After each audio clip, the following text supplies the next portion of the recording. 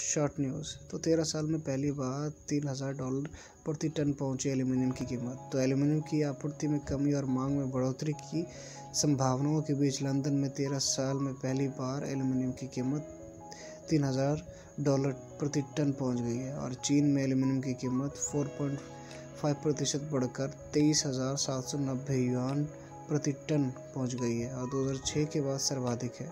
पिछले तीन महीनों में एल्यूमिनियम की कीमत में 15 प्रतिशत से भी अधिक की बढ़ोतरी देखी गई है।